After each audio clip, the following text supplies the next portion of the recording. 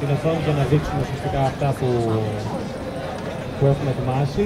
Ε, νομίζω ότι βολεύει να διαχειριστούμε κάπως κοντά στην τηλεόραση και στις πρώτες πηγές για να δείχνουμε καλύτερα. στο μέρος που φανταζόμαστε. Λοιπόν, ε, μια και έτσι το, αυτό που έχουμε ετοιμάσει σήμερα πρακτικά επειδή έτσι περιοριζόμαστε και λίγο από το χρόνο και από, το, από τον τρόπο ας πούμε, ε, προβολής, ε, έχουμε ετοιμάσει περισσότερο να δείξουμε, να κάνουμε μια αναφορά σε κάποια εργαλεία και πλατφόρμες ανοιχτού λογισμικού, οι οποίες μπορούν να χρησιμοποιηθούν είτε ατομικά, σε ατομικό επίπεδο από ανθρώπους που κάνουν ε, δημοσιογραφία των πολιτών, όπως συνηθίζουμε να το λέμε, είτε και συλλογικά από ομάδες οι οποίες έχουν πλατφόρμες ανεξάρτητης ενημέρωσης. Οπότε αυτό αφορά και συνολικά κάποιες ομάδες που υπάρχουν ήδη, αλλά και ατομικά οποιονδήποτε θέλει να χρησιμοποιήσει κάποια εργαλεία για να κάνει πιο εύκολη τη δουλειά του.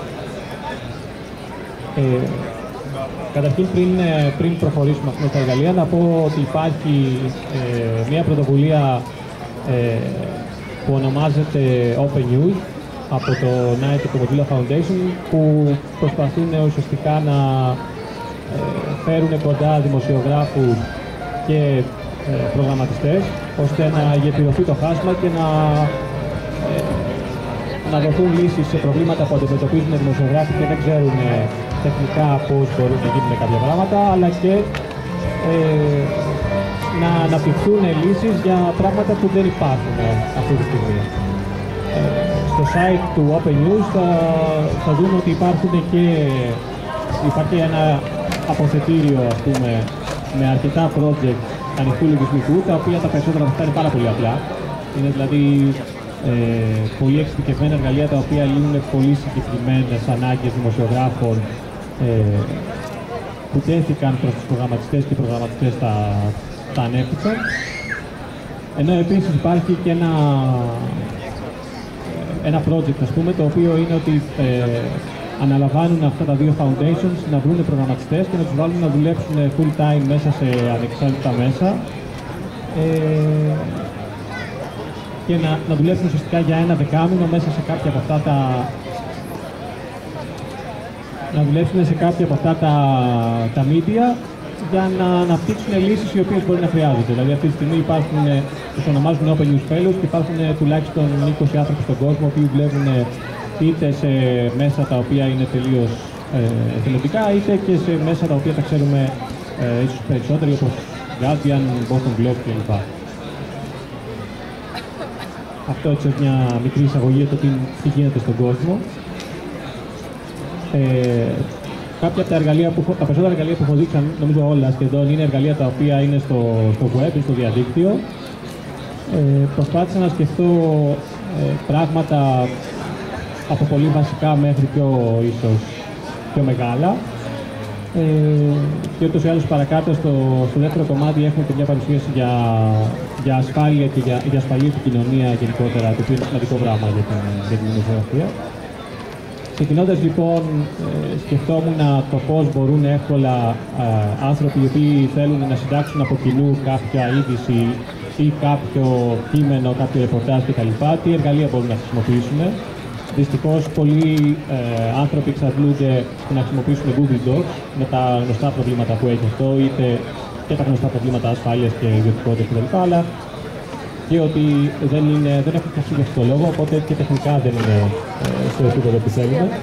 Ε, η κοινότητα ανοιχτού λογισμικού έχει δημιουργήσει ένα εργαλείο το οποίο λέγεται Etherpad, ε, το οποίο είναι, είναι web εργαλείο, το μόνο που χρειάζεται για να το χρησιμοποιήσουμε είναι ένας browser, ο Firefox, ο Chromium ή όποιος άλλος χρησιμοποιούμε, ε, και το οποίο μας επιτρέπει να κάνουμε, ε, να επεξεργαστούμε και να δημιουργήσουμε ένα κείμενο online ε, πάρα πολλά άτομα ταυτόχρονα.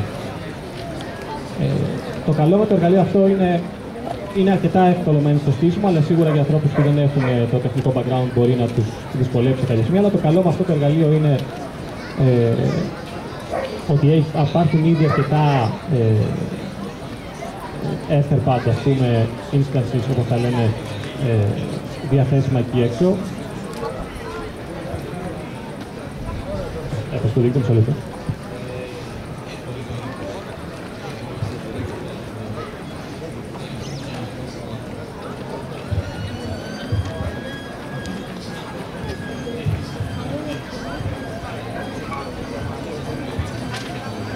λοιπόν στο site μια λίστα με sites τα οποία ήδη προσφέρουν αυτή την υπηρεσία, παράδειγμα το, το Pirate Pass.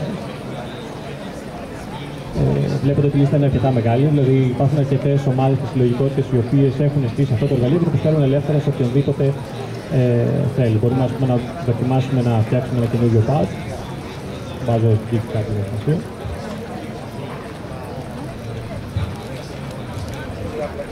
και μας πηγαίνεις σε ένα πολύ απλό ας πούμε, κειμενογράφο, ε, ο οποίος δεν έχει καμία ε, απέτηση από τον, στον δικό μας υπολογιστή, τρέχει παντού και ε, μπορεί πολύ εύκολα να χρησιμοποιηθεί από πάρα πολλούς ε, ανθρώπους για να κάνουν ταυτόχρονο editing σε ένα, σε ένα κείμενο. Έχει chat ώστε να μπορούν να μιλάνε κατά τη διάρκεια του editing και να μπορούν να, να επεξεργαστούν εύκολα το κείμενο. Και όταν είναι έτοιμο να μπορούν μετά να το βγάλουν στην όποια πλατφόρμα χρησιμοποιούν.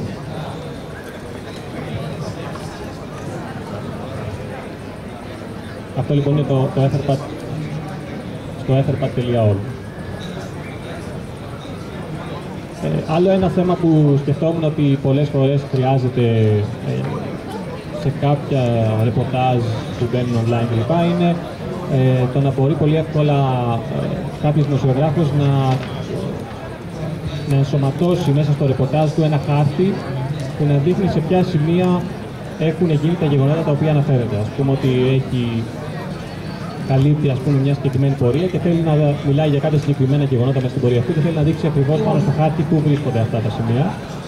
Ε, Δυστυχώς πάλι πολλοί χρησιμοποιούν κλειστά εργαλεία με τα προβλήματα που έχει αυτό και μεταξύ αυτών είναι ότι και τα δεδομένα που έχουν αυτά τα εργαλεία δεν είναι ελεύθερα και μπορεί να υπάρχουν και χρεώσεις μετά από κάποιο σημείο και μετά. Ε, το αντίστοιχο ας πούμε ανοιχτό εργαλείο που υπάρχει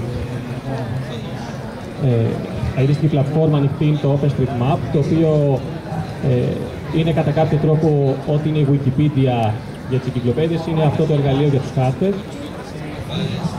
Είναι δηλαδή ένα εργαλείο το οποίο ε, τα δεδομένα που έχει από τα, από τα ονόματα των δρόμων, από σημεία ενδιαφέροντος κτλ. είναι δεδομένα τα οποία τα έχουν βάλει, τα έχουν βάλει εμείς, τα έχουν βάλει οι ίδιοι οι χρήστες. Ο καθένας τις περιοχές που ξέρει, τη γειτονιά του ή οπουδήποτε πηγαίνει μπορεί να μπει και να κάνει ένα απλό edit όπως κάνουμε στη Wikipedia και να προσθέσει πληροφορίες που έχει. Οπότε αυτό είναι το υπόβαθρο ας πούμε, το οποίο στη συνέχεια το χρησιμοποιούν άλλες υπηρεσίες είτε ανοιχτού λογισμικού είτε κλειστού λογισμικού για να προσφέρουν κάποιο extra functionality πούμε, πάνω από αυτό. Μια τέτοια υπηρεσία λοιπόν η οποία είναι ανοιχτού λογισμικού είναι το Tilemy, με το οποίο μπορούμε να δημιουργήσουμε custom χάρτες με τα δικά μας σημεία, αλλά και εμφανισιακά να είναι ε, με τη δική μας ας πούμε, αισθητική, αντί να χρησιμοποιούμε, αντί να βλέπουμε χάρτες ας πούμε, σε δημοσιογραφικά site, τα οποία είναι όλα της Google και μοιάζουν ακριβώς όλα ίδια. Έχει λοιπόν ένα editor, ο οποίος είναι διαθέσιμος ως ανοιχτό λογισμικό για όλα τα τρία δημοφιλή λειτουργικά συστήματα, αλλά ε, μπορούμε πολύ εύκολα να φτιάξουμε να φτιάξουμε ένα χάρτη και online από τον ε, editor που έχει, χωρίς να χρειάζεται να εγκαταστήσουμε τίποτα στον υπολογιστή μας. Θα δείξω λίγο πόσο απλό είναι δηλαδή να δημιουργήσουμε ένα χάρτη.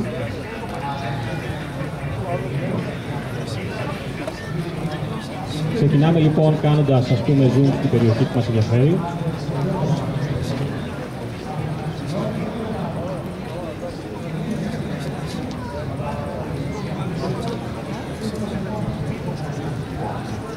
Πούμε ότι έχω κάνει το zoom στην ευρύτερη περιοχή γύρω από το, από το σύνταγμα. Ε, μπορώ να διαλέξω, βλέπετε ότι ο χάρτης έχει ε, φανησιακά φαίνεται σαν ένας ε, χάρτης απλός, έστω και αν ενδιαφέρει ας πούμε, αυτά που μας Μπορώ να διαλέξω ε, το πώς θα θέλω να φαίνεται ε, χρωματικά. Ας πούμε ότι μου αρέσει να είναι λίγο πιο σκούρο.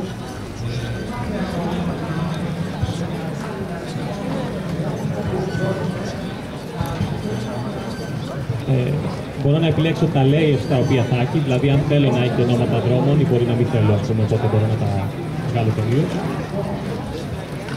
Μπορώ να ε, τονίσω κάποια συγκεκριμένα πράγματα, όπως είναι το, τη φωτεινότητα, ας πούμε, των, των κτηρίων για να είναι λίγο πιο έντονα. Και να τα τονίσω. Ε,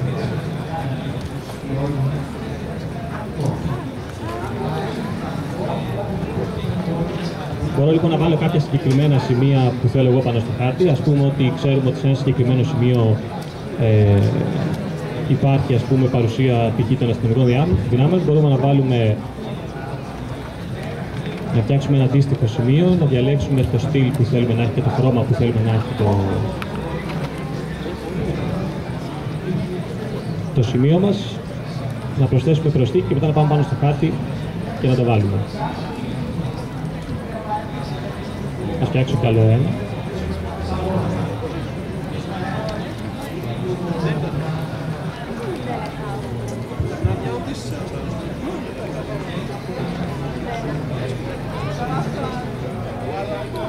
Στο τέλος μπορούμε να δώσουμε έναν, ε, ένα τίτλο στο χάρτη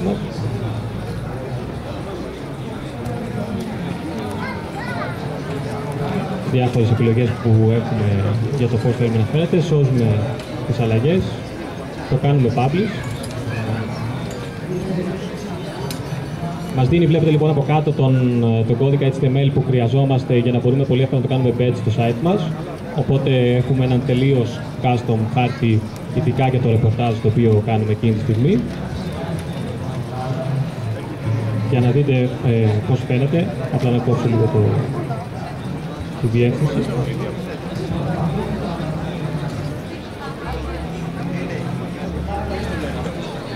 Βλέπετε λοιπόν ότι δημιούργησα ένα χάρτη ο οποίος έχει τα χρώματα και την αισθητική που θέλω εγώ, έχει τα σημεία που θέλω εγώ με τα ονόματα που τους έχω δώσει και μπορώ πολύ εύκολα αυτό να το χρησιμοποιήσω σε οποιοδήποτε site θέλω.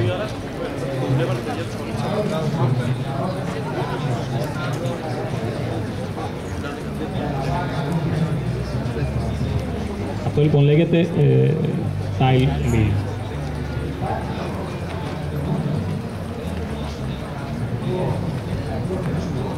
το οποίο το φτιάχνει μια εταιρεία που λέγεται Mapbox, η οποία βγάζει γενικώς αρκετά εργαλεία έτσι, ανοιχτού λογισμικού που έχουν σχέση με mapping.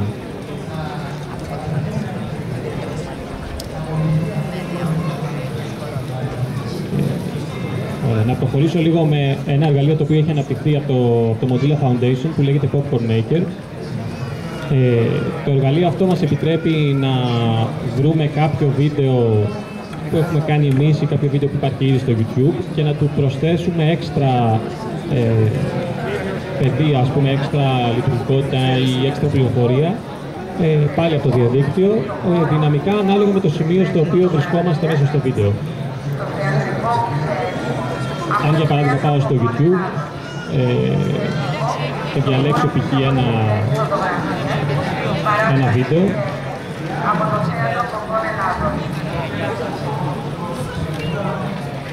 μπορώ να πάρω απλά το, το link του βίντεο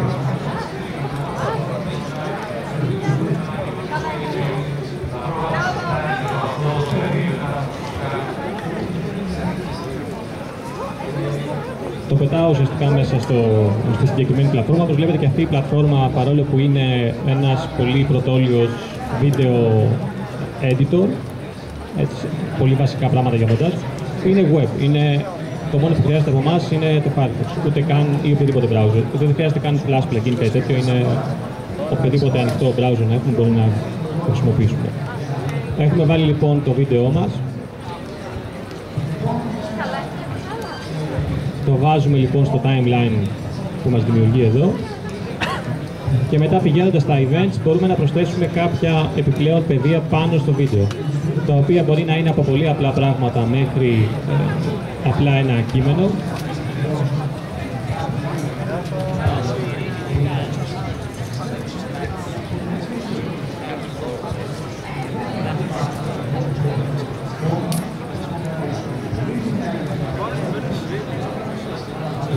Βλέπετε εδώ μας έχει βάλει ήδη ένα, ένα κείμενο το οποίο μπορούμε να βάλουμε π.χ. εμείς εδώ ένα τίτλο και να το πάμε σε οποιοδήποτε σημείο ε, του βίντεο θέλουμε. Βλέπετε εδώ κάτω στο timeline ότι ουσιαστικά αυτό είναι ένα, απλά ένα στοιχείο στο timeline μας και μπορούμε να το βάλουμε να φαίνεται σε οποιοδήποτε σημείο θέλουμε και οποιαδήποτε διάρκεια θέλουμε. Αντίστοιχα έχει και τα pop-up που είναι ε, κάτι παρόμοιο. Αυτά που είναι πιο δυναμικά ε, είναι π.χ. Google Maps, τα οποία και θα δείξουμε μετά πώς μπορούμε να βάλουμε και OpenStreetMaps. Ε, το οποίο είναι αρκετά βολικό γιατί μπορούμε πολύ εύκολα να προσθέσουμε ε, σε ένα χάρτη που έχουμε να βάλουμε ε, σε ένα βίντεο που έχουμε να βάλουμε χάρτη ε, με το συγκεκριμένο σημείο στο οποίο συμβαίνει αυτό που δείχνουμε στο βίντεο. Έτσι, αν δείχνουμε κάτι π.χ. που συμβαίνει στα πατήσια, μπορούμε να βάλουμε το χάρτη για να βλέπει ο κόσμος πρακτικά πού γίνεται αυτό.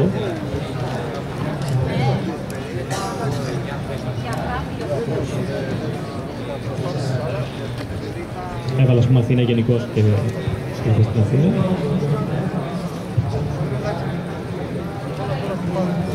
Ε, αντίστοιχα και αυτό είναι ένα στοιχείο πάνω στο timeline μας το οποίο μπορούμε να το κάνουμε όσο διάρκεια θέλουμε και σε όποιο σημείο θέλουμε.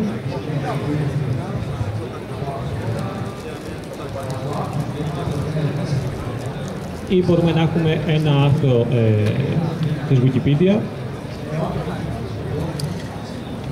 το οποίο π.χ. μπορεί να είναι ε, για ένα θέμα το οποίο μιλάμε εκείνη τη στιγμή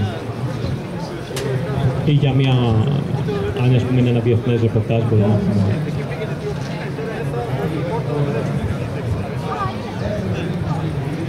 για την πόλη την οποία μιλάμε κλπ. Αντίστοιχα και αυτό είναι απλά ένα στοιχείο στο timeline το οποίο μπορεί να βγαίνει σε οποιοδήποτε σημείο του βίντεο θέλουμε, σε οποιοδήποτε μέγεθος θέλουμε και ε, σε όποια το να δίνουμε όσο περισσότερο θέλουμε εμείς.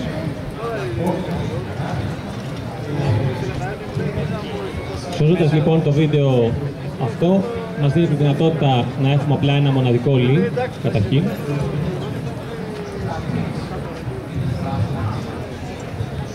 Το οποίο είναι απλά ένα link που πηγαίνει απλά στο βίντεο μας. Και έχει μέσα όλα αυτά τα στοιχεία που είπαμε. Το βίντεο αυτό μπορούμε πολύ εύκολα εμείς ή οποιοδήποτε τρίτος να το κάνει ε, embed ή να το κάνει share κλπ. Ε, και το ενδιαφέρον είναι ότι μπορεί να το κάνει και remix, δηλαδή μπορεί κάποιος να πατήσει το remix και να το πάει μέσα στο editor και να κάνει τη δική του εκδοχή του βίντεο αυτό χωρίς να επηρεάζει το δικό μας.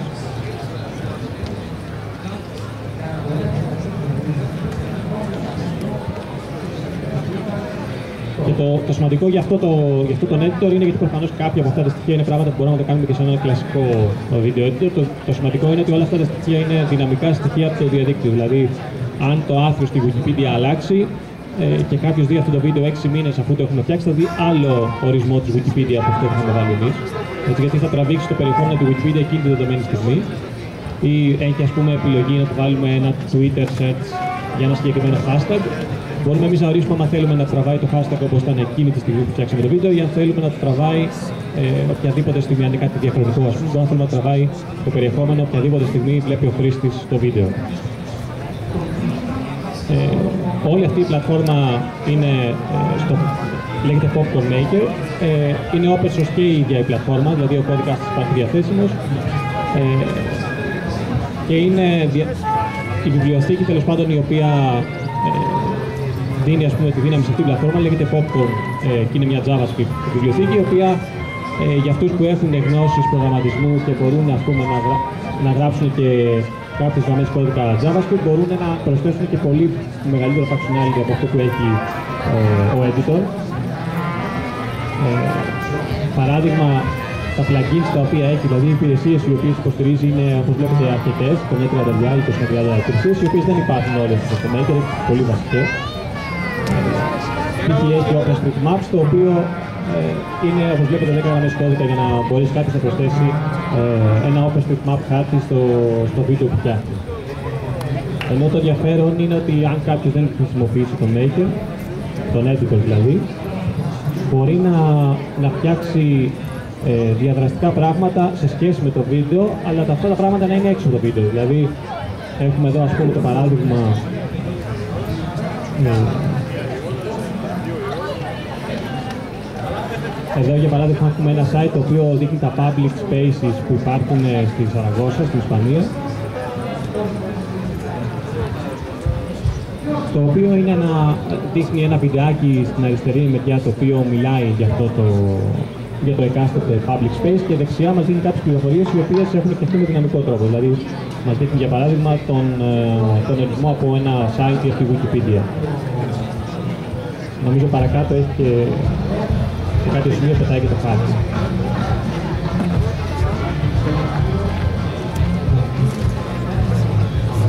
Ε, ή αντίστοιχα, ένα άλλο παράδειγμα ας πούμε, που έχει,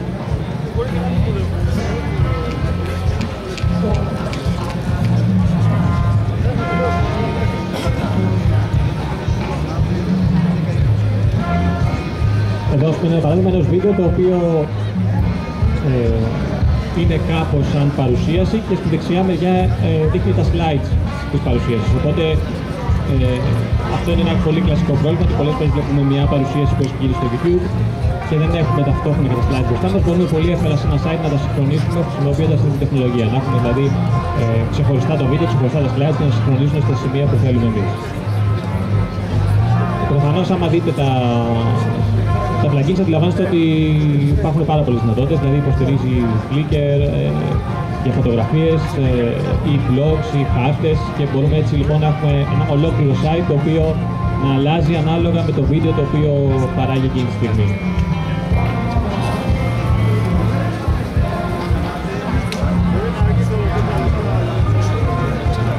Ε, περνώντας έτσι σε λίγο πιο ε, μεγάλα πράγματα, ε, σε πλατφόρμες οι οποίες αφορούν κυρίως ολόκληρες ομάδες που θέλουν να στήσουν ένα site ειδησιογραφικό.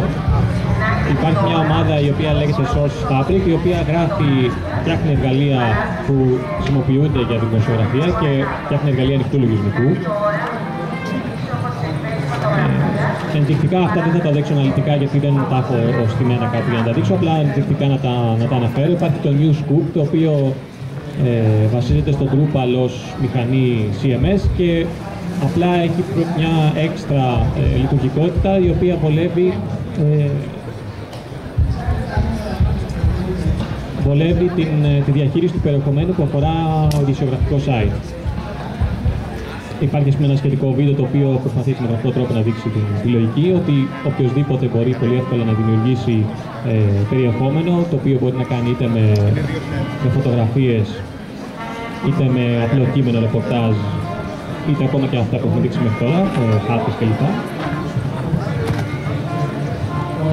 και αντίστοιχα μετά να είναι εύκολη η δουλειά του editor, ο οποίος είναι αυτός που θα φτιάξει το, το front page, την πρώτη σελίδα του δισογραφικού site και πρέπει αυτός να αποφασίσει και το πώς θα εμφανίζονται τα άρθρα, αλλά με ποια σειρά θα εμφανίζονται και αν θα εμφανίζονται στην πρώτη σελίδα ή στις πιο μέσα σελίδες κτλ. Αυτό λοιπόν λέγεται News Scoop. Αντίστοιχα έχουν φτιάξει το Super Desk, το οποίο είναι λίγο πιο, ακόμα λίγο πιο μεγάλο σε σχέση με το, ε, με το Newsbook. Αυτό είναι συνολικά για newsroom, για το πώς διαχειρίζεσαι τα νέα και το πώς λαμβάνεις νέα και το πώς, όχι μόνο δηλαδή την παραγωγή περιεχομένου, αλλά και για το πώς ε, λαμβάνεις νέα από διάφορες άλλες πηγές.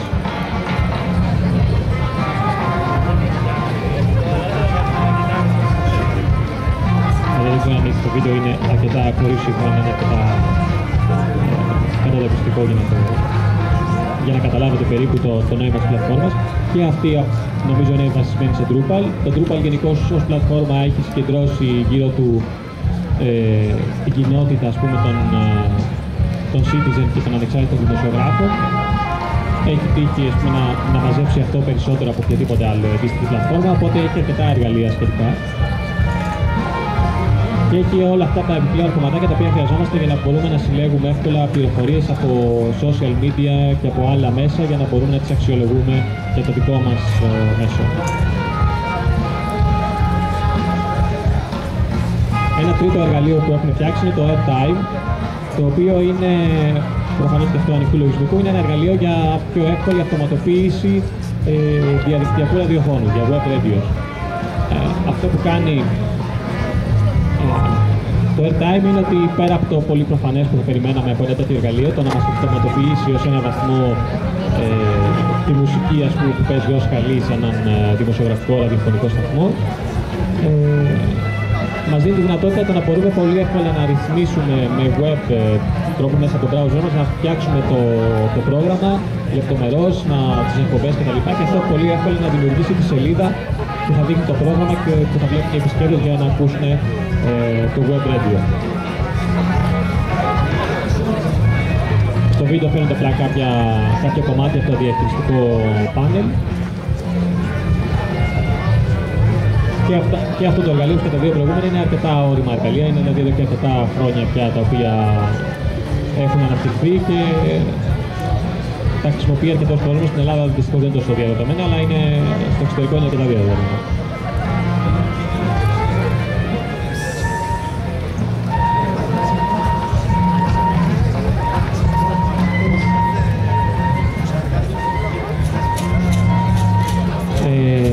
Ακόμα εργαλείο που ταιριάζει πολύ με το, κολλάει πολύ με το Superdesk είναι το Managing News ε, το οποίο είναι ένα εργαλείο για, να, για συλλογή ειδήσεων. Δηλαδή ε, για να συλλέγουμε, να κάνουμε aggregate πληροφορίες και ε, ειδήσεις από πάρα πολλές πηγές, είτε αυτές είναι ε, social media είτε ένα άλλα site. Και το χαρακτηριστικό αυτού του εργαλείου είναι ότι το κάνει σε πραγματικό χρόνο. Αυτό το, δηλαδή κάτι το οποίο συμβαίνει τώρα, πώς μπορούμε να δούμε τι, ε, τα reports που γίνονται από όλο τον κόσμο, είτε σε social media, είτε σε άλλα μέσα κτλ. Να τα δούμε σε πραγματικό χρόνο αυτή τη στιγμή συνολικά, αντί να ψάχνουμε από μόνοι μας σε 15 διαφορετικά sites για να, για να το βρούμε. Και νομίζω η ίδια ομάδα έχει, δεν είμαι σίγουρος αν είναι η ίδια ομάδα, αλλά ε, συγγενική ομάδα πάντως έχει φτιάξει και το Open Publish, ε, το οποίο είναι και αυτό ένα CMS, νομίζω και αυτό βασισμένο στο Drupal, το οποίο ε, απλά είναι προσαρμοσμένο στο να διευκολύνει ομάδες και συλλογικότητες ανεξάρτητων μέσων για να στήσουν εύκολα ένα ειδησιογραφικό site. Είναι χαρακτηριστικό κιόλας ότι άμα δούμε τους ανθρώπους οι οποίοι, τα μέσα μάλλον τα οποία το χρησιμοποιούν, παρόλο που μπορεί να μην, σαν όνομα να μην μας λέει πολλά, είναι χαρακτηριστικό ότι χρησιμοποιεί π.χ. το Al Jazeera. Το site του Al Jazeera είναι ε, φτιαγμένο πάνω σε αυτό το εργαλείο και αρκετά ακόμα, ε, αρκετές εφημερίδες και αρκετά μέσα.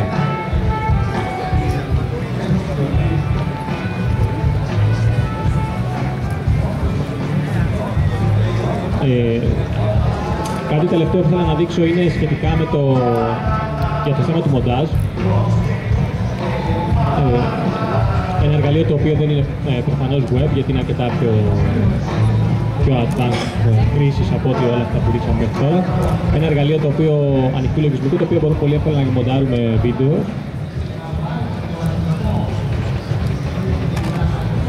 και το οποίο λειτουργεί με τρόπο που ίσως κάποιοι έχουν συνηθίσει ούτως ή άλλως από αντίστοιχα άλλα εργαλεία.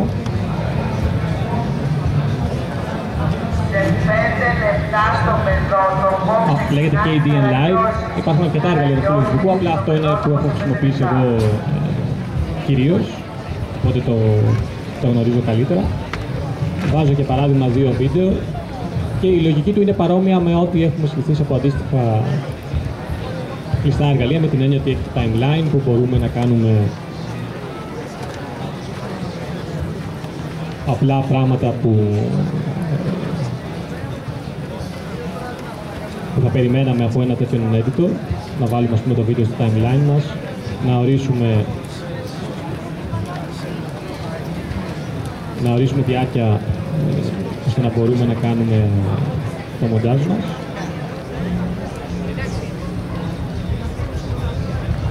Έχει εφέ τα οποία μας βοηθούν για κάποια πολύ βασικά και πιο προχωρημένα πράγματα, τα οποία έχουν είτε για τον ήχο να κάνει fade in, fade out, είτε ε, διορθώσεις πάνω στην εικόνα και στο βίντεο κτλ.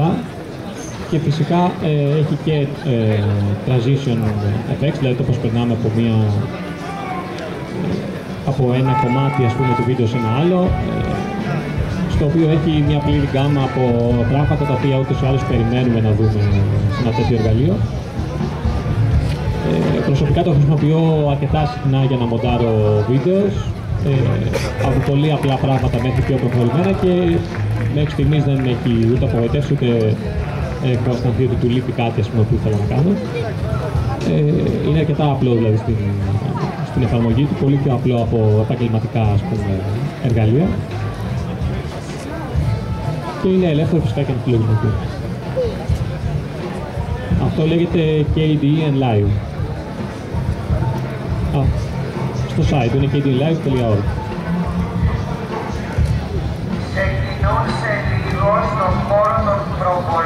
Ε, αυτά από μένα, εμείς, ε, γιατί θα είναι περίπου εργαλείων να συνεχίσουν να λέω κι άλλα.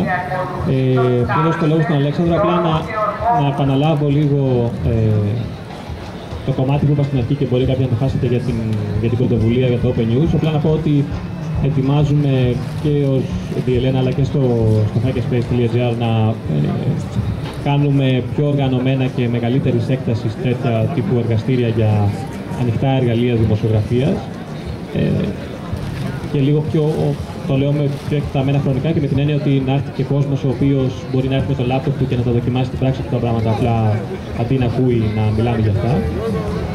Ε, οπότε ε, σας προσκαλώ όλου να απλά να. Δεν ξέρω, μπορεί στο τέλος να, άμα θέλετε, όποιος θέλει να αφήσει το email του για να σας ενημερώσουμε ή ε, απλά να παρακολουθείτε ε, τις επόμενες ενημερώσεις από το DLNVR ή από παρόμοιες ομάδες για, το, για επόμενα εργαστήρια. Οπότε να δώσω το λόγο στο, στον Αλέξανδρο που θα μας μιλήσει κυρίως για το κομμάτι της ασφάλειας, της ασφαλούς και ανώνυμης επικοινωνίας, το οποίο αρκετές φορές είναι, το παραγνωρίζουμε, αλλά είναι αρκετά σημαντικό κομμάτι και γενικώς, αλλά και στη δημοσιογραφική δουλειά, ειδικά όταν ένας δημοσιογράφος πρέπει να επικοινωνήσει με άλλους ε, ανθρώπους ή και με πηγές κλπ.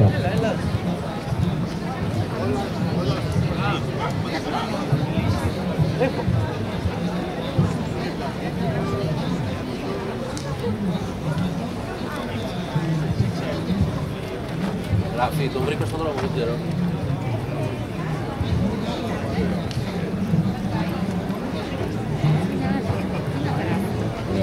Ε, καλησπέρα και από μένα. Ε, θα αναφερθώ λίγο περισσότερο σε ζητήματα ασφάλειας και ανωνυμίας όσον αφορά την ε, λεγόμενη δημοσιογραφία των πολιτών, δηλαδή όσον αφορά το περισσότερο το κομμάτι της ανάγνωσης και περισσότερο δημοσίευσης ειδήσεων και περιεχομένου στο διαδίκτυο. Ε, καταρχήν, ένα μικρό... Δεν βοηθάει η τηλεόραση, θα θέλαμε ένα projector. Ε, τέλος πάντων. Ε, μια μικρή αναφορά στην έννοια της ιδιωτικότητας, η privacy τελικά. Ε, η ιδιωτικότητα είναι η δυνατότητα του καθενός να επιλέγει αυστηρά τι πληροφορίες θα μοιράζεται με τον καθένα. Ε, δηλαδή, αν κάποιος θέλει να δημοσιεύσει μια πληροφορία ή να ανεβάσει μια πληροφορία σε ένα site, θέλει να έχει το δικαίωμα και τη δυνατότητα να γνωρίζουν αυτές τις πληροφορίες μόνο τα εμπλεκόμενα, τα, τα μέρη που επιλέγει. Ε, δεν θέλει κάποιος να παρακολουθεί την κίνησή του, τη δικτυακή του κίνηση, δεν θέλει να είναι κάποιος σε θέση να υποκλέψει τα δεδομένα.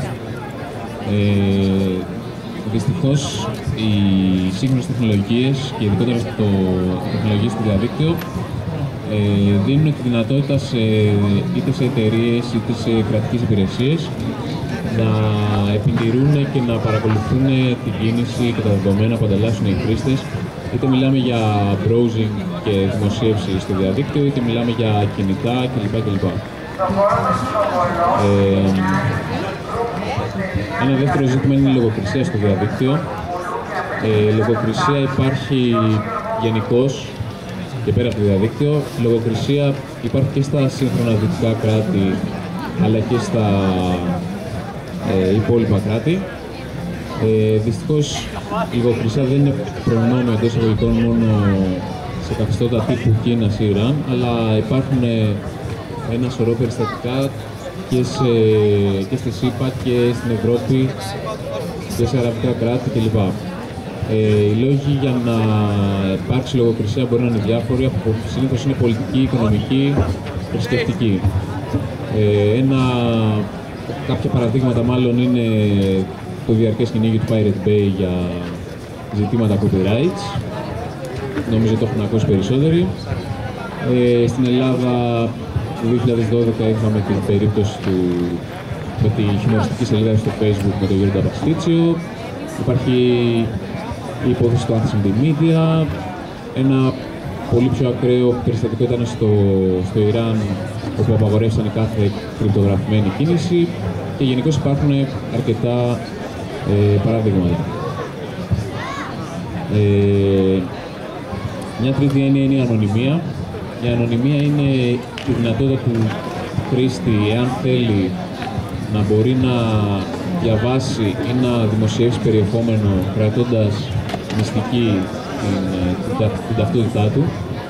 Ε, μυστική τόσο από το site το οποίο επισκέπτεται ή χρησιμοποιεί, όσο και να κρατήσει μυστι- μυστικό από τον πάροχο, τον λεγόμενο ISP, τον πάροχο υπηρεσιών του, π.χ.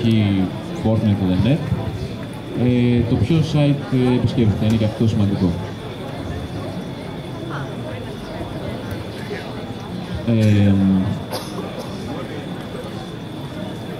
σε μια συζήτηση για την α, λανθασμένα μάλλον, αυτό είναι στην προηγούμενη διαφάνεια, λανθασμένη η ανωνυμία τίνει να συνδεθεί με, με την παρανομία ή γενικότερα με κάτι ύποπτο και κακό, το οποίο δεν θα έπρεπε να είναι έτσι. Ε, Ιδίως στην λεγόμενη δημοσιογραφία των πολιτών και στην, ε, όταν οι χρήστες θέλουν να δημοσιεύσουν περιεχόμενο, ε, θέλουν να είναι και ασφαλείς, θα αναφερθώ στη συνέχεια περισσότερο λεπτομερώς, αλλά πολλές φορές θέλουν να διατηρήσουν και την ανωνυμία τους. Αν θέλουν να κάνουν ε, μια δημοσίευση που αφορά ας πούμε, ε, κάποιο περιστατικό, κάποια πορεία, κάποια καταγγελία για ε, εργασιακό ζήτημα, για ζήτημα ρατσισμού κλπ. κλπ. Ε, οπότε το ανώνυμο και ασφαλές browsing, είτε αφορά την ανάγνωση, είτε αφορά την ε, δημοσίευση ε, πληροφοριών, ε, προστατεύει το χρήστη απέναντι, από το, απέναντι σε- στην παρακολούθηση, είτε αυτό είναι εταιρική παρακολούθηση στο χώρο εργασίας ή από κάποιον ISP ή από κάποια εταιρεία που ε, παρακολουθεί δεδομένα, καταγράφει δεδομένα για διαφημιστικούς λόγους, είτε αυτό είναι μια κρατική υπηρεσία. Γενικώς το ανώνυμο και το ασφαλές browsing ενδυναμώνει την ελεύθερη έκφραση, είναι μια τεχνική απάντηση στη λογοκρισία, δίνει τη δυνατότητα για καταγγελία αφαιρεσιών και έχει- δίνει τη δυνατότητα για να παρακαμφθούν περιορισμοί στο διαδίκτυο, περιορισμοί που συνήθως επιβάλλονται από κρατικές υπηρεσίες, βλέπε Ιράν, βλέπε Κίνα κλπ. Ε, εντάξει, αυτά ταιριάζουν και σε μία συζήτηση γιατί δεν είναι αμυγός τεχνικά ζητήματα. Είναι μάλλον ζητήματα κοινωνικά, όλα αυτά η λογοκρισία, η ανωνυμία, η ιδιωτικότητα στο διαδίκτυο και όχι μόνο. Ε, θα ταιριάζουν σε μία συζήτηση. Ε, τώρα, με λίγες περισσότερες λεπτομέρειες όσον αφορά το ζήτημα της ασφάλειας στο browsing, ε, όταν ο browser μας ανοίγει μια σελίδα, ε, κάνει μια σειρά από ερωτήματα, τα οποία ερωτήματα δρομολογούνται μέσα από διάφορους κόμβους.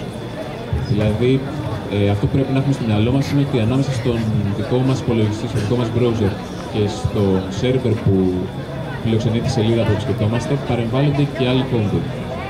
Ε, όταν μιλάμε για ασφάλεια, ε, ο χρήστης θέλει τα δεδομένα που ανταλλάσσει με το συγκεκριμένο site που επισκέπτεται να τα γνωρίζει ο ίδιος και το site και κανένας άλλος. Δεν θέλει τα δεδομένα αυτά να είναι αναγνώσιμα ή ακόμα χειρότερα να μπορούν να τροποποιηθούν από κάποιον ενδιάμεσο. Κάποιος ενδιάμεσος είπαμε ότι μπορεί να είναι, σίγουρα μπορεί να είναι ο ISP, ο πάροχος των υπηρεσιών, ή ενδεχομένως και κάποιος άλλος ο οποίος παρεμβάλλεται στην, ε, στο μονοπάτι από το browser μέχρι το site. Ε, το πρωτόκολλο που χρησιμοποιείται κατά κόρον στο, στο browsing είναι το HTTP.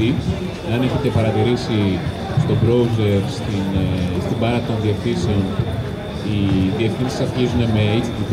Είναι το πρωτόκολλο που, μιλάει, που μιλάνε οι browser στο, στον ιστό. Ε, το HTTP έχει σχεδιαστεί με όχι ασφαλή τρόπο.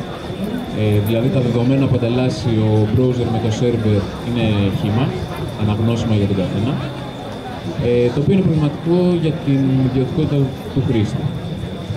Ε, αυτό που μπορεί να γίνει στην πράξη είναι κάποιος ενδιάμεσος να υποκλέψει username, password ή να υποκλέψει ολόκληρο το περιεχόμενο που δημοσιεύει ένας χρήστης, όπως είναι ένα κείμενο, μια φωτογραφία, ένα οτιδήποτε. Και ακόμα χειρότερα εάν είναι κάποιος κακόβουλος και θέλει να κάνει κάτι πιο αναβαθμισμένο, μπορεί να παραποιήσει και τα, τα δεδομένα που ανταλλάσσει ο client με το server. Ε, η απάντηση σε αυτό το πράγμα είναι το HTTPS. Είναι προσθήκη ενός SES μετά το HTTP. Ε, το HTTPS είναι ασφαλής έκδοση του πρωτοκόλλου HTTP. Το έχετε χρησιμοποιήσει σίγουρα ε, σε συναλλαγές με τύπου e-banking, σε site όπως είναι ε, το taxi της εφορίας κλπ. κλπ. Ε, το HTTPS χρησιμοποιείται κατά κόρον στο διαδίκτυο ε,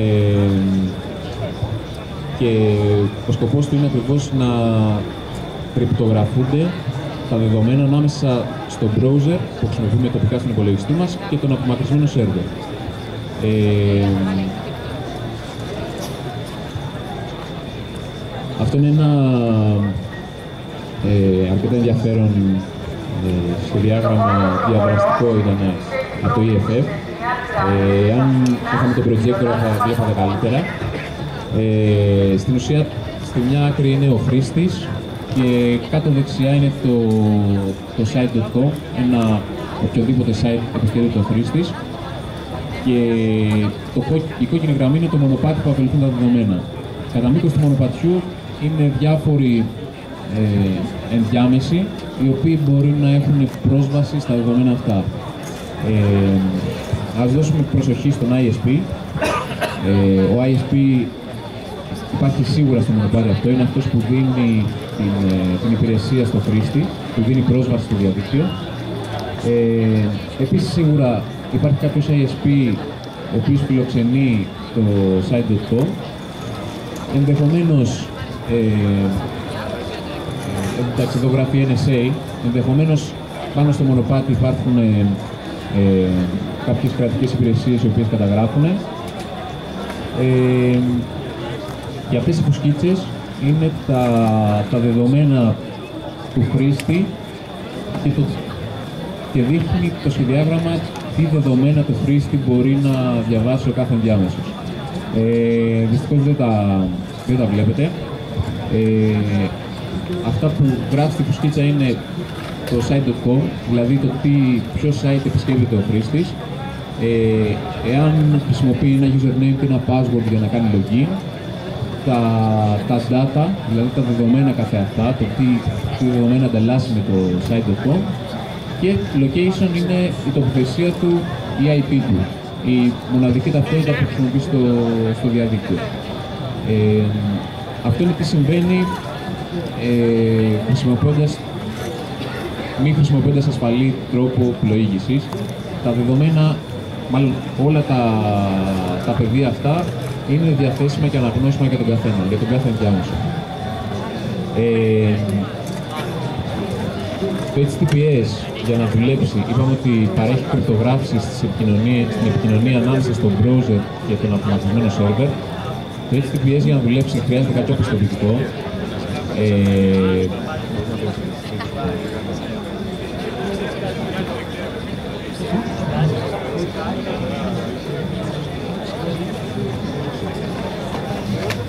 Το HTTPS λοιπόν για να δουλέψει χρειάζεται ε, να δώσει στο χρήστη, το, το κάθε site ξεχωριστά να δώσει στο χρήστη ένα πιστοποιητικό. Το πιστοποιητικό είναι ε, ένα αρχείο το οποίο έχει όλα τα απαραίτητα στοιχεία για να, εγκαθιδρυθεί μια ασφαλής ε, ε, σύνδεση. Αυτό μέσω ενός browser είμαστε σε θέση να δούμε το πιστοποιητικό της κάθε σελίδας. Αυτό για παράδειγμα είναι το Twitter. Ε, έχει κάποια πεδία όπως το, από ποιον έχει εκδοθεί, πούμε εδώ πέρα το very sign, το πότε εκδόθηκε, το πότε λύγει και ένα ψηφιακό αποτύπωμα. Ε, αυτό μας ενδιαφέρει όταν χρησιμοποιούμε το HTTPS είναι να είμαστε σίγουροι ότι μιλάμε με το σωστό site. Μπορεί να μιλάμε με HTTPS, μπορεί να μιλάμε κρυπτογραφημένα, αλλά θέλουμε να είμαστε σίγουροι ότι μιλάμε με το σωστό site. Δηλαδή, μιλάμε με το twitter.com και με όχι κάποιον ο οποίος ε, προσποιείται ότι έχει το, το twitter.com. Ε, το σύστημα του HTTPS με τα πιστοποιητικά αυτή τη στιγμή που υπάρχει στο διαδίκτυο είναι ε, ιεραρχικό και εταιρικό.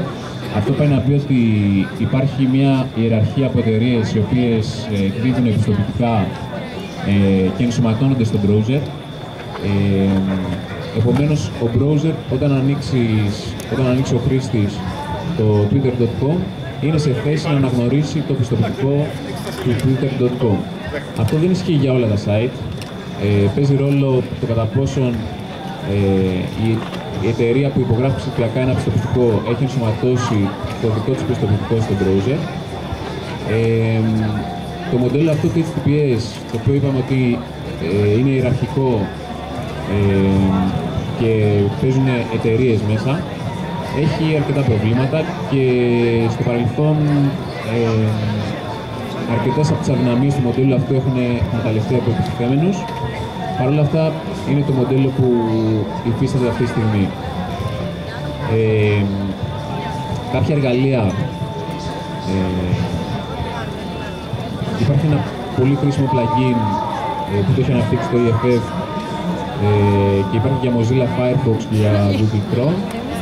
Το, το plugin αυτό λέγεται HTTPS Everywhere και στην ουσία αυτό που κάνει είναι ότι έχει μια, μια λίστα με websites και γυρνάει σε HTTPS, δηλαδή κρυπτογραφημένες συνδέσεις, ε, αν το υποστηρίζει και ο σερβερ. Ε, επίσης κάποια αρκετά όσο περνάει ο καιρός websites έχουν ε, προεπιλεγμένα το HTTPS όπως είναι το Twitter, το Gmail, ε, τράπεζες, διαφορία κλπ. Ε, το eBay, το eBay δεν είμαι σίγουρος. Ε, Επίσης για τους πιο υποψιασμένους υπάρχει και ένα επιπλέον ε, plugin λέγεται Certificate Patrol okay, καταγράφει κάθε αλλαγή σε certificate για το κάθε site. Ε, σε κάθε περίπτωση ο υποψιασμένος χρήστης ο οποίος θέλει να, να είναι ασφαλής στο browsing οφείλει να, και να χρησιμοποιήσει HTTPS και να ελέγξει και την εγκυρότητα του πιστοποιητικού. Ε, Okay, τώρα περνάμε στο δεύτερο κομμάτι που αφορά το ζήτημα της ανωνυμίας. Ε,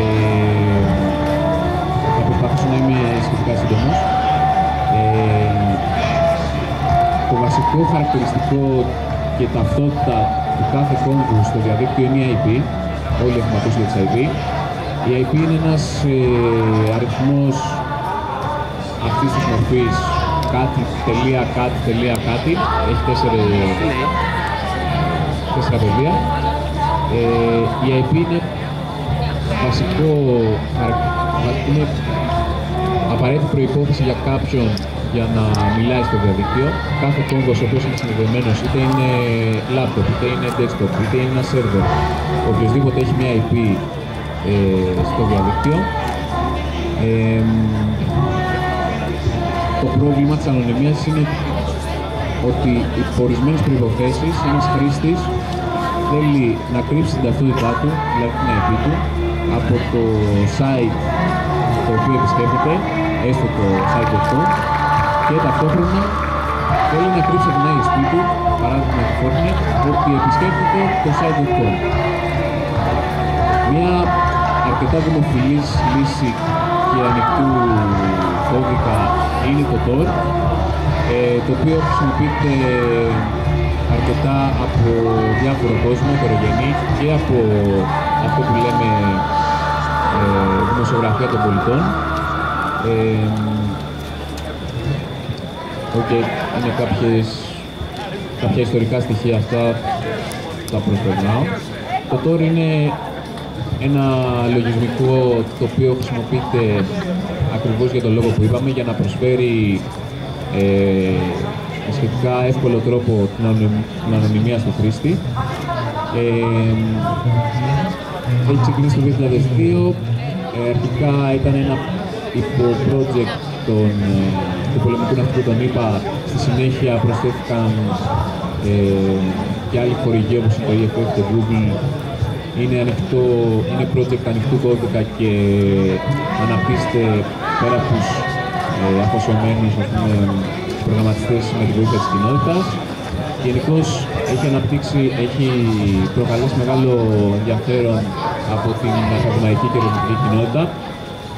Ε, και είναι τέλος πάντων ένα εργαλείο που χρησιμοποιείται αρκετά. Ε,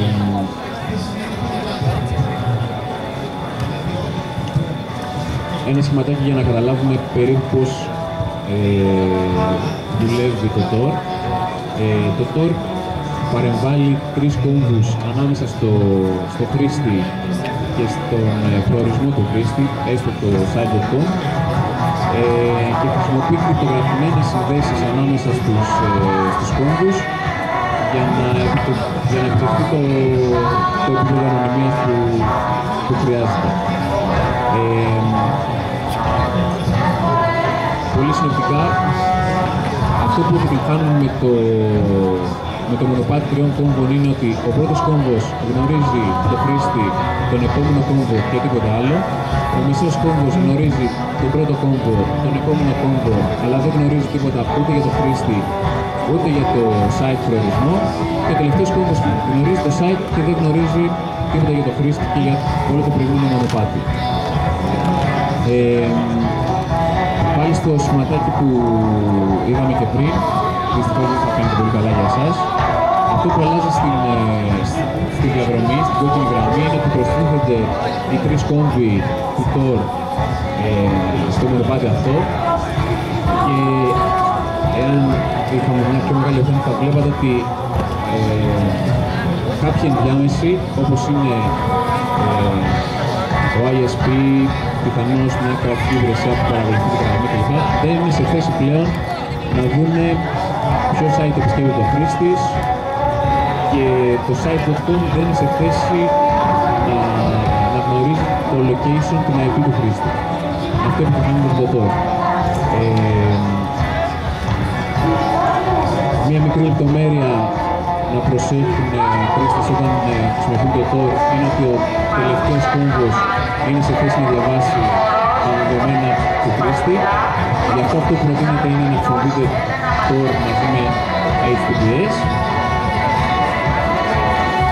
Ε, τα hidden services μπορούν να αποδειχθούν κάτι πολύ χρήσιμο για το θέμα της σημερινής παρουσίασης που είναι το ε, δημοσιογραφία των πολιτών. Hidden services είναι η δυνατότητα που δίνει το TOR ε, σε κάποιον χρήστη ή σε μια ομάδα χρηστών να, να φτιάξουν ένα website ή μια, γενικώς μια υπηρεσία κρατώντας μυστική την τοποθεσία της υπηρεσίας αυτής.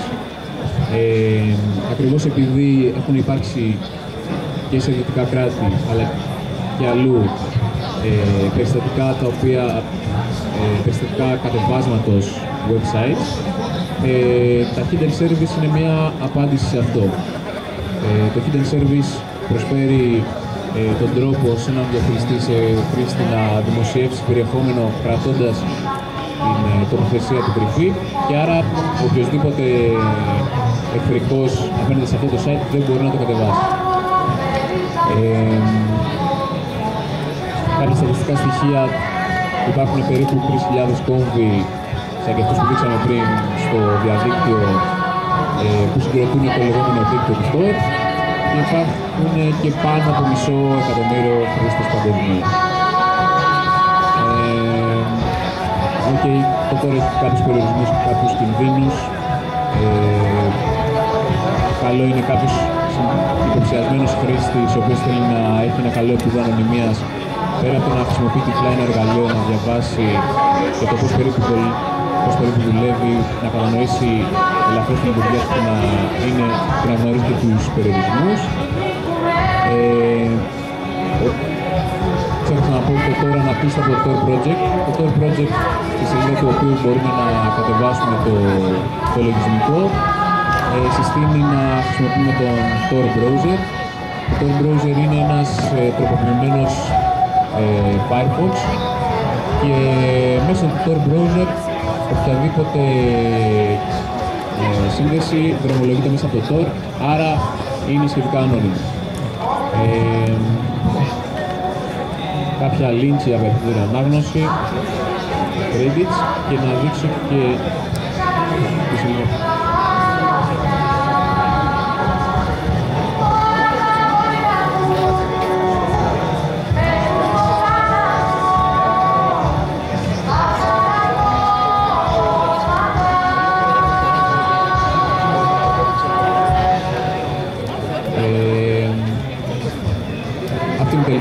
σελίδα torproject.org ε, από όπου μπορούν, μπορούν οι χρήστες να κατεβάσουν το λογισμικό του Tor. Ε, δεν είναι κάτι πολύπλοκο, μπορείτε να το προσπαθήσετε στο σπίτι σας. Υπάρχουν και σε διάφορα links, ούτως ή άλλως, ε, βοηθητικές πληροφορίες και οδηγίες. Ε, πατώντας αυτό το κουμπί, το site, το Tor Project θα αναγνωρίσει το λειτουργικό σύστημα που έχετε και θα σας δώσει το αντίστοιχο εκτελέσιμο. Αυτός θα το εκτελέσετε, θα ανοίξει ένας, όπως είπαμε, τροποποιημένος Firefox, ο οποίος θα δρομολογεί τις ε, συνδέσεις μέσα από το Tor.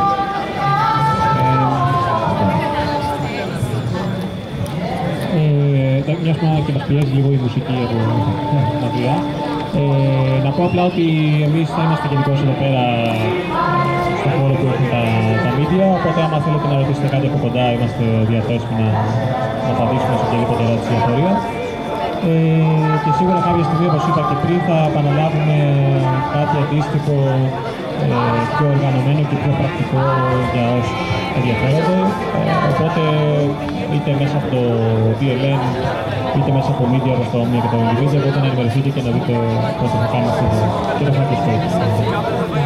Οπότε ευχαριστούμε πολύ.